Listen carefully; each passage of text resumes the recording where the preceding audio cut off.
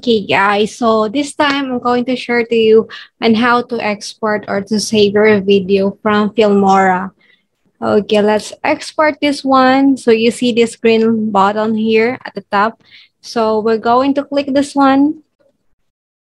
Then for the name box, we're going to change that to our title or or a, a file a file that you will remember.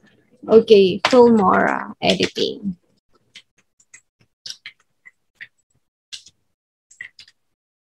So let's choose what folder we're going to um, to save this one. Okay, select folder. The settings should be 60 FPS. Okay.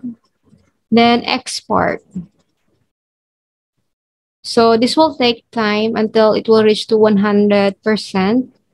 So at the time that it will be completed, you can check your file folder to see if it's already there. And then you can transfer that to your YouTube channel. So that's how easy and quick to uh, save your file from Filmora or to export it.